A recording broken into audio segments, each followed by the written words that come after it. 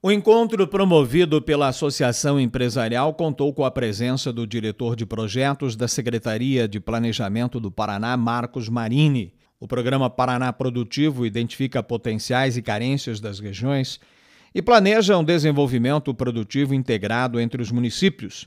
Considerado inovador, o Paraná Produtivo tem como bases o protagonismo regional e a efetividade na implantação de ações propostas. Marcos Marini falou sobre a plataforma disponível como uma ferramenta de gestão para os paranaenses. O programa Paraná Produtivo ele tem 15 regiões, né? Nós definimos aí hoje 15 regiões no estado do Paraná e, e, e todos esses, movimentos regionais eles ocorrem a partir das associações comerciais, a partir das lideranças, Sistema S, universidades, lideranças, o poder público dos municípios que compõem aquela região e com isso também é, a questão do próprio PIB, né? Do Produto Interno Bruto, da questão da própria é, renda dos paranaenses que consegue ser melhorada a partir de ações como essa. Ele é aberto, basta a população acessar paranaprodutivo.com.br tem um cadastro básico lá no botão onde se coloca alguns dados seus pessoais e entrar na plataforma e navegar. São dados atualizadíssimos, como eu disse, pela base de dados do Estado, a partir do IPARDS, nosso Instituto Paranaense de Desenvolvimento Econômico e Social, e também com dados do governo federal, dos ministérios e do próprio IBGE. Então, uma gama de 60 indicadores que vai possibilitar o melhor desenvolvimento das regiões paranaenses.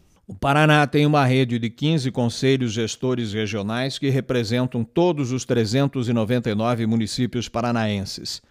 O presidente da Associação Empresarial, Luan Marcante, destacou que as parcerias público-privadas são importantes para o desenvolvimento regional e a ferramenta do Paraná Produtivo pode ser um braço de apoio para a tomada de decisões em investimentos novos de gestão empresarial. O Paraná Produtivo, que é um, um projeto do, do, governo do estado, veio para somar, disponibilizar muitas informações, um dado, um BI completo, para que o empresário tenha dados e informações disponíveis para que ele possa é, pensar melhor né, nos seus negócios no futuro.